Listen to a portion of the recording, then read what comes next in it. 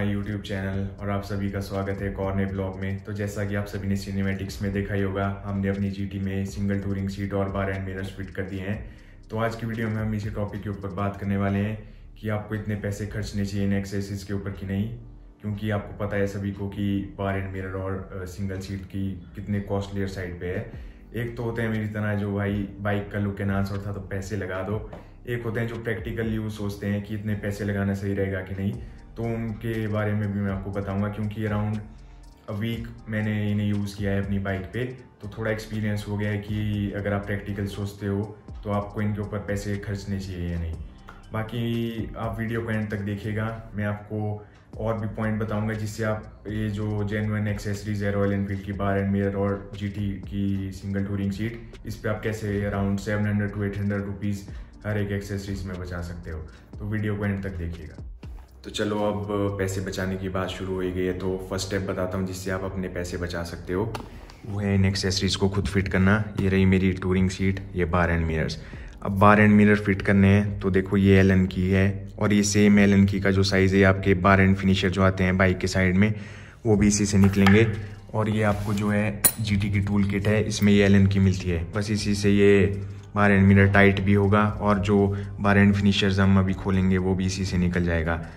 तो जो costing company वाले ले रहे थे, वो दो सौ रुपये से फिट करने के ले रहे थे और टू हंड्रेड रुपीज़ इस पर लेबर चार्जेस लग रहा था। तो चार सौ रुपये बाइक इन्हें खुद ही फिट कर लो, इतना भी कोई मुश्किल काम नहीं है। अब टू सिंगल टूरिंग सीट की बात की जाए, इसमें भी ये देखो तीन नट हैं। ये फ़र्स्ट सेकंड और ये थर्ड ये भाई खुद ही आपको टाइट करने हैं, ऐसा कोई मुश्किल काम नहीं है। और इसे, ये नट थोड़ा अजीब सा है। इसे आपको फिट करने के लिए स्क्रू ड्राइवर लेना पड़ेगा। इसका साइज़ है टी ट्वेंटी तो अगर आप खुद फिट करना चाहो, ये स्क्रू ड्राइवर टी ट्वेंटी करके है। ये आपकी मैनुअल में भी दिया है, देखो टी ट्वेंटी तो आप इन दोनों को खुद फिट करके अराउंड फोर हंड्रेड रुपीज़ बचा सकते हो। और मज़े लो भाई, तेल भराओ बाइक में। अब मैं इसे आपको फिट करके दिखाता हूँ, ये तो ईजी ईजिली हो जाता है। तो सिंगल टूरिंग सीट हमने फिट कर दी है। ये आप देख सकते हो, बस ये लैच होता है, इसकी पुल करोगे तो आपकी डुअल सीट बाहर और सिंगल सीट अंदर। अब ये देखो, ये एलन की है, जो मैंने आपको उसमें दिखाई थी, ये बस इसका सेम साइज़ है। इससे हम अभी बार एंड फिनिशर निकालेंगे और ये स्पेसर्स दिए होते हैं अंदर। यहीं पे बार एंड मिरर फिट होंगे दोनों साइड।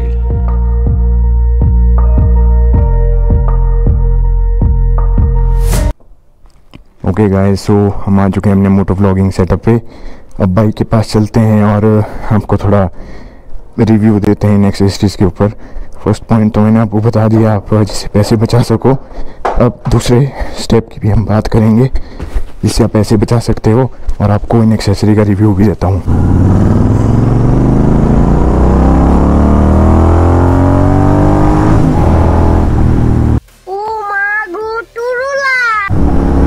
ओके गाइस सो आपका स्वागत है हमारे मोटो ब्लॉगिंग सेटअप पे।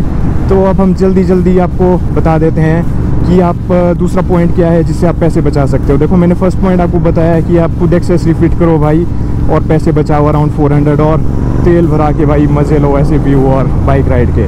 ठीक है? तो दूसरा पॉइंट जिससे आप पैसे बचा सकते हो वो ये है कि रॉयल एनफील्ड की तरफ़ से कूपन आते हैं डिस्काउंट कूपन्स जो आपके एक्सेसरीज में लगते हैं। तो अराउंड वो टेन परसेंट के हमारे जो है डिस्काउंट कूपन होते हैं। तो यूट्यूब के थ्रू मेरे एक दोस्त बने थे आशू भाई। वो आजकल रॉयल एनफील्ड में ही काम करें तो उन्होंने मुझे वो जो है डिस्काउंट कूपन दिया था।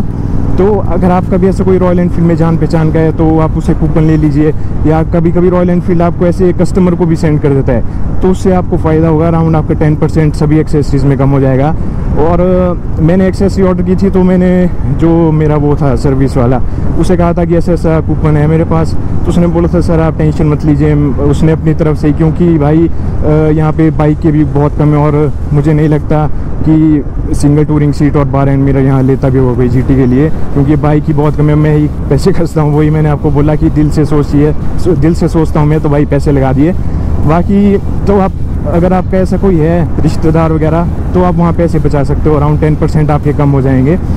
और अब बात की जाए कि इसे राइट साइड का जो बार एंड मेरे से फिट करने में मुझे थोड़ी दिक्कत आई, क्योंकि इसके जो बार एंड फिनिशर्स हैं, वो भाई थोड़े मतलब अगर आप इसे होल्ड नहीं करोगे तो जो आपका एलन क्रू से स्क्रू खुलेगा, वो पूरा रोटेट होता रहता है। तो फिर वहाँ आपको दिक्कत आ जाएगी। तो मैं आपको एक टूल की फ़ोटो डाला हूँ। अगर आप इसे खुद फिट करना चाहो तो आप वो टूल अरेंज करके रखिएगा। वो क्लिप्स आता है ताकि वो बार फिनिशर्स को पकड़े और आप टूल अपना अच्छे से मतलब जो एल की का बोल्ट है वो अच्छे से आपका खुल जाए। तो मैं टूल की फ़ोटो डाल दी होगी मैंने स्क्रीन में। आप खुद फिट करना चाहो तो आप देख लीजिएगा। बाकी अब बात करते हैं इनके। मैंने अराउंड अ वीक नहीं यूज़ कर लिया है। अब मैंने कहा था कि दो टाइप के लोग होते हैं दिल से और दिमाग से सोचने वाले। दिल से सोच रहे हो तो भाई ले लो, देखो क्या लुक आती है बढ़िया।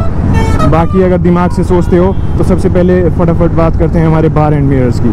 बार एंड मिरर्स देखो भाई, ये अगर रॉयल इनफील्ड का सिलेर तो क्वालिटी पे कोई कॉम्प्रोमाइज़ नहीं है, क्वालिटी काफ़ी अच्छी है। लेकिन अगर आप थोड़ा प्रैक्टिकली सोचो तो भाई, इतने एक्सपेंसिव नहीं होने चाहिए थे। क्योंकि मैंने आपका फ़र्स्ट आपको नेगेटिव बताता हूँ इसका। मेरी height around five foot eleven inches है। तो जो स्टॉक मिरर थे, वो आई लेवल पे मतलब यहाँ यहाँ यहाँ पे दोनों रहते थे। तो अगर मुझे पीछे ऐसे हाईवे में देखना होता था तो ऐसा गर्दन झुका के नहीं देखना पड़ता था। मैं हल्की से आई आई अपनी डाउन करता था और पीछे का सारा व्यू आता था। अब ये देखो, ये थोड़ा लोअर है। तो मुझे अपनी ऐसे मुंडी झुका के देखना पड़ता है। मतलब रोड से अपनी नज़रें हटा के ऐसे थोड़ा देखना पड़ता है कि भाई, पीछे गाड़ी तो नहीं आ रही। ये फ़र्स्ट नेगेटिव है इन बार एंड मियर्स का, अगर आपकी हाइट थोड़ी ज़्यादा है। बाकी पॉजिटिव ये है कि देखो वाइब्रेशन इनमें बिल्कुल भी नहीं है। स्टॉप मिरर में भी वाइब्रेशन है क्योंकि रॉयल एनफील्ड का ये जो 650 इंजन है, आपको पता है इसमें वाइब्रेशन भाई कितनी ही कम है। तो जो स्टॉक मिरर्स थे, मैंने उसकी एक वीडियो बनाई है। वो भी आपके वाइब्रेट तभी होते हैं जैसे मान लीजिए हमने कोर्स स्टार्ट किया। मैं उसकी वीडियो डाल रहा हूँ।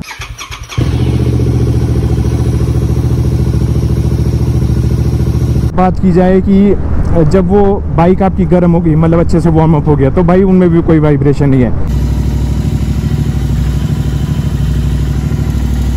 बस यही डिफरेंस है कि इसमें आपको अगर कोल्ड स्टार्ट भी करोगे आप तभी ये वाइब्रेट नहीं करेंगे। बाकी अगर आप रोड में चलते हो तो इनमें बिल्कुल वाइब्रेशन नहीं है। स्टॉक हल्के फुल्के वाइब्रेट होते रहते हैं।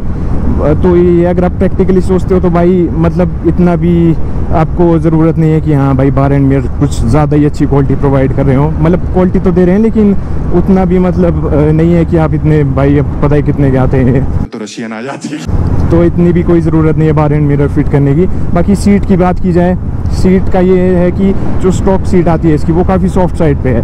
तो अगर आप ऐसे मतलब ऑफ़िस जाते हो डेली बेसिस पे या संडे राइड मारते हो कभी कभी तब तो भाई आपको कोई मतलब ज़रूरत ही नहीं है टूरिंग सीट लगाने की। टूरिंग देखो, इसमें इसीलिए लिखा है क्योंकि ये टूरिंग के लिए आपको काफ़ी अच्छा कंफर्ट प्रोवाइड करेगी। इसमें ऐसा है कि बाय बाय इसमें ऐसा है कि जैसे आप टूरिंग करो तो ये आपको कंफर्ट देगी। क्योंकि स्टॉक सीट जो है काफ़ी मतलब सॉफ्टर साइड पे है। तो उस पर आप बैठोगे, आपको ऐसा लगेगा कि हाँ भाई सोफ़ा पे बैठा हूँ। और वो मतलब आपको 30-40 किलोमीटर्स पे कोई दिक्कत नहीं देगी। अगर आप थोड़ा लंबा टूर मारते हो, तब ये सीट को लेके फ़ायदा है। और वो भी अगर आपके साथ कोई पार्टनर है, तब और आप लंबा टूर मारते हो तो मैं आपको ये कहूँगा कि आप डबल टूरिंग सीट ले लीजिए जो इनकी आती है। सिंगल सीट भाई, ऐसे लॉन्डे लपाटे हैं वो अकेले सिंगल बॉय मेरी तरह। जिसकी कोई गर्लफ्रेंड नहीं है, तभी ये ठीक है। बाकी भाई, ऐसे भी ज़रूरत नहीं है कि पैसे लगा दो। अब आपकी नीड पे डिपेंड करता है। अगर देखो, जो प्रैक्टिकल सोचोगे तो अगर लॉन्ग राइड्स मारते हो, तभी लेके फ़ायदा है। और बार एंड मेयर्स का मैंने आपको बता दिया, अब आपको बाइक खुद डिसाइड करना है। तो ये कुछ पॉइंट है। आपको आई होप हेल्पफुल हो इन्हें बाइक करने से पहले। बाकी, अब मैं यहाँ बाइक पार्क कर दूँ और आपको एक बार लास्ट टाइम लुक भी दिखा देता हूँ। ये आप देख सकते हो। ये रही हमारी सिंगल टूरिंग सीट साइड से दिखाता हूँ एक बार। और एक बार फ्रंट से दिखा देता हूँ। ये रहे हमारे बार एंड मिरर्स तो आपको डिसाइड खुद करना है। मैंने आपको पूरा प्रैक्टिकल यूज़ भी बता दिया। अगर भाई पैसे हैं और ऐसे लॉन्डे टपाटे हो बढ़िया लुक देखो एनहांस होती है तो भाई ले लो। बाकी ऐसे प्रैक्टिकली सोचते हो तो इतनी भी कोई ज़रूरत नहीं है इन्हें लेने की। वही है, अगर लॉन्ग टूरिंग करते हो तो सीट सीट आपको हेल्पफुल होगी। बाकी बार एंड मिरर्स लेने की कोई ज़रूरत नहीं है। देखो डायरेक्टली बताऊँ तो। सो ये रही हमारी लास्ट एक्सेसरी ये मैंने स्टिकर ऑर्डर किए थे। मॉडिफाइड ऑनलाइन इंस्टा पे मुझे काफ़ी पसंद आया था ये। तो ये यहाँ हम काउल पे लगाएँगे। देखो क्या लुक आएगी बढ़िया से पीछे। अपना स्टिकर लग चुका है लेटर बीचेस बाकी एक मॉडिफाइड ऑनलाइन का स्टिकर था, ये मैंने साइड में माउंट कर दिया है। बाकी अगर आपको वीडियो पसंद आई तो वीडियो को लाइक कीजिएगा और शेयर कीजिएगा अपने दोस्तों के साथ जो सोच रहे हैं इन एक्सरसाइज को लेने का। बाकी वीडियो एंड करते हैं। थैंक यू इस प्यारे व्यू के साथ।